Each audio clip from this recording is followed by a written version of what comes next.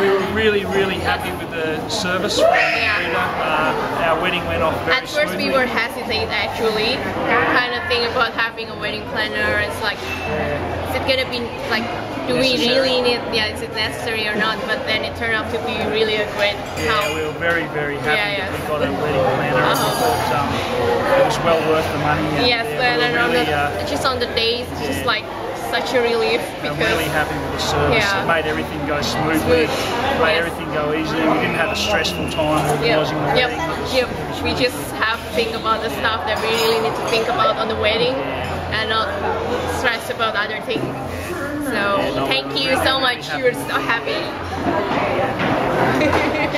recommend it to anyone. I'd say uh, if any of my friends were getting married, I'd recommend Yep. they use Excellent Yep. Organiser.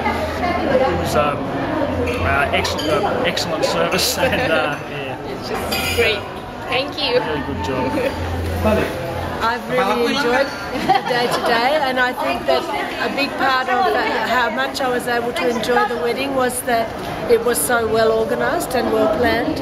I thought the fact that you had a big team of people was very positive because it meant if there were small problems that required someone to help out, there was someone who could be delegated to solve the small problems.